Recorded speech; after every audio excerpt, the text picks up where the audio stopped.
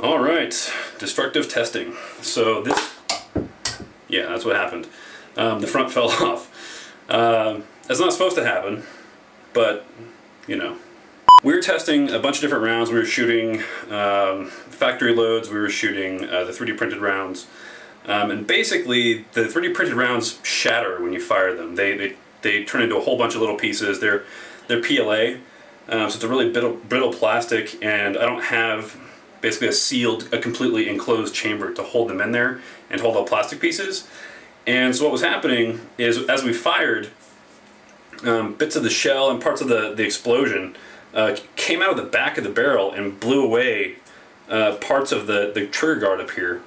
And uh, eventually under recoil, we were testing, we were proof testing really, um, and we were proof testing on one the last round that we fired, ripped the trigger guard off, and uh, the gun would still fire again. I mean, yeah, it would have still fired again, but um, your grip would have been really sketchy and it wouldn't have been safe to use anymore. So, yeah, I'm going to show you what was happening as we were shooting. I'll show you right now. We were, we were shooting 3D printed rounds and it was chewing away at this here. Um, and you'll, you'll see kind of how this began to fail and then eventually it just culminated in, in with firing the proof loads. It just ripped the trigger guard off. So um, that's an okay failure. I mean, this this whole thing is 25% infill, um, so I didn't expect a whole lot from it, and uh, it actually fared extremely well considering. Um, so yeah, I don't think there's any, anything else before I'll, I'll show you some of the, the destruction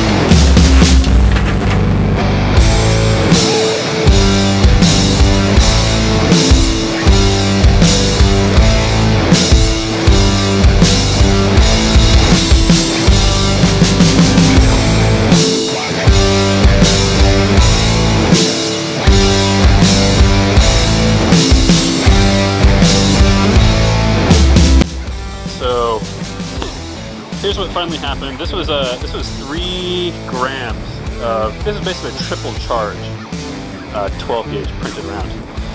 Um, the gun itself is mostly okay, but bro, we've actually been tying. We had a piece of paracord right here. My thumb is um, in there, and we basically had a piece of paracord running there the front to keep the recoil in check, and that finally failed on this. Really, it's not even totally solid part. You can see right there, it's it's 25% infill. So, and we've been we've been blasting the hell out of this thing all night. So it finally failed. Um, you can see there the paracord. We did have this up in here. Um, the top of this is finally getting chewed up too. I mean, I suppose it's not super surprising it finally failed. It's not even it's not even solid. I mean, so I mean, I do feel pretty good about it. But this this gun is, uh, it needs a new lower. Oh, that's interesting. Wow. Check that out. So, even the, the lugs are not solid printed, actually. Um, they're, they're 25% infill. Here, let's, um, let's take this one apart and we'll go, we'll take it back in, uh,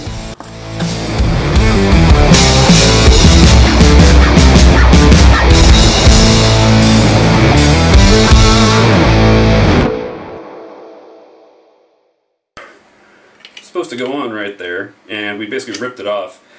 And uh, that happened for a couple reasons. One, um, we were firing uh, 3D printed rounds which um, you would call it case head separation if it was a, a brass round, um, but it doesn't really apply because it's plastic and they just shatter, They're, they they evaporate. Uh, not evaporate, but they, they turn into a lot of little bits. Um, but when that was happening, um, it was eroding away at the top of the trigger guard here, and eventually it just failed. It didn't have the strength to stay holding on. It yanked that that uh, that front end of the trigger guard off, and um, you know that that's kind of an okay mode of failure. You're not supposed to have that much force on there, and we beat the hell out of that gun that that day anyway. So another variant here, paracord dangling off of it. Um, so I've got these two, these two gun designs. Um, this is kind of my hacker version with uh, basically an easy to remove fore end and uh, I plan on swapping out different barrels in there and doing like a 9mm barrel and um, we'll see, there's more, more to come on that. But uh, that's kind of the fancy version. Uh, but here's the, the simple version um, and this is designed to work with 12 inch threaded rods so you can just go down to the store and pick them up. Um, but yeah, so in the last test, uh, the thing that I was really excited about is that this setup here worked. That barrel locking mechanism. Um, I have some printed locking lugs in there. There's a little four-lobed locking lug system. The track it to slide down, and the lugs are actually held onto the barrel with a double shaft collar. Um, so anyway, the big test was around that, and it works pretty well. Um, I also have something kind of cool that's been in development is this uh, charging handle. Um, it's kind of how you charge the gun. Before I had that weird string thing where you, you pull it back and, and uh, you can cock the gun without drilling any holes really. Um, and that's, that's not a good option. This is a lot better. So you just have a lever here. Oh, it's already cocked. Clear.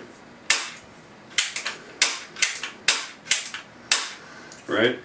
So now this gun is a gun, like you could kind of use it. Uh, there's a few things that I want to fix though.